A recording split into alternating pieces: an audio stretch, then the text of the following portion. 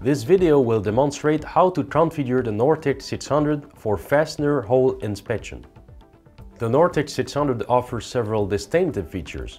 It has a menu of application presets, so you can configure the instrument with the push of a button. There is no need for filter adjustment. New filter settings ensure constant figure 6 and figure 8 signal shapes. The new length function automatically readjusts the filter settings to compensate for changes in the RPM control and it is compatible with all major aircraft manufacturer procedures.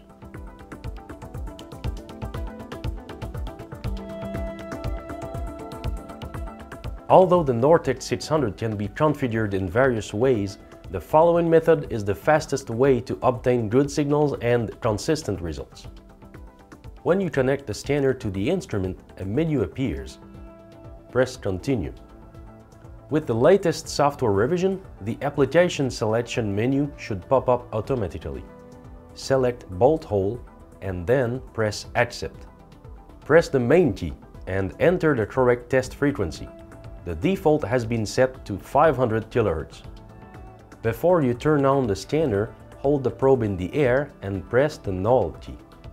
To adjust the liftoff angle, start the scanner and gently position the tip of the rotating probe so that it just grazes the surface of the standard.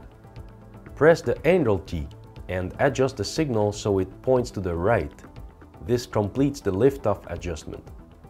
Insert the probe into a fastener hole that has a defect. Press the gain key and set the gain as desired. Hold the probe steady and while it's rotating over the defect, Press the gain key two more times and then set the vertical gain until the signal reaches full screen height. Press the main key and set the scan RPM to the desired speed. If the scanning speed increases or decreases, the length function automatically readjusts the filter settings to compensate for any change in RPM so you don't have to do any manual filter adjustment. As needed, press the main key again and choose between the figure 6 and figure 8 signal filters. The Nortec 600 features a new digital filter type that is capable of maintaining the 6 or 8 figure regardless of changes in the filter settings. This enables you to obtain identical signals and a consistent detection performance for every inspection. Variation in signal response due to differences between instruments is no longer an issue. When you have finished, press the full next key to display the signals in full screen mode. The default real-time readings display live vertical peak-to-peak -peak amplitude and signal phase angle. This is useful for distinguishing genuine indications from non-relevant indications.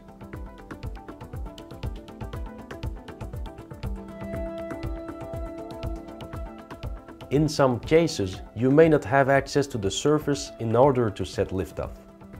That's okay, because the signal phase angle can also be set while the probe is rotating in the fastener hole. When you do it this way, the liftoff is actually set based on the vibration noise.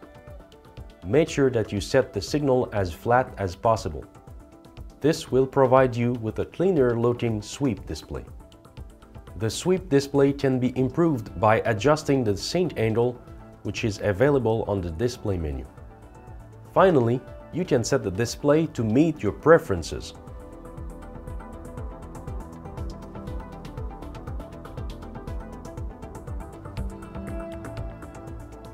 Configuring the Nortec for steel hole inspection is very similar to the configuration that we just performed for non-ferromagnetic materials. You can follow the same steps you have just seen with two main differences. Less gain is required and the defect signal comes up at a different angle. Just like with the non-ferromagnetic materials, pay attention to the liftoff angle. Make sure that you set it as flat as possible so that the sweep display produces a clean figure. We hope you enjoyed this instructional video on how to configure the Nortec 600 to inspect fastener holes. For more information on Olympus Editron solutions, contact your local representative or visit us online at www.olympus-ims.com.